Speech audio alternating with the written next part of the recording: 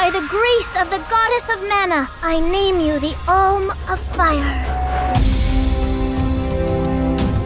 An alm's sacred duty is to offer their soul to the Tree of Mana. They ensure life and prosperity for the rest of us. We can't give up our happiness! This isn't something we can run from.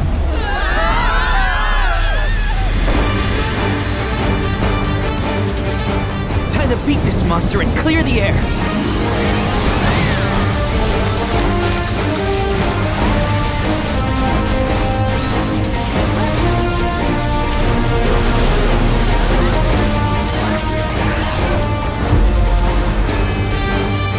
Looks like this'll carry me where I need to go.